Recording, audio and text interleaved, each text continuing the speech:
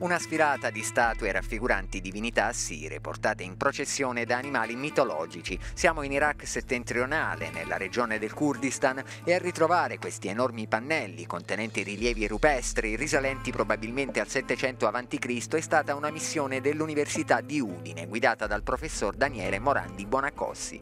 È un ritrovamento eccezionale, anzitutto perché i rilievi rupestri assiri sono estremamente rari. L'ultimi, gli ultimi rilievi rupestri assiri a essere scoperti nella zona, quindi nell'Iraq settentrionale, furono scoperti eh, poco meno di due secoli fa dal console francese a Mosul, Simone Rouet, eh, del 1845.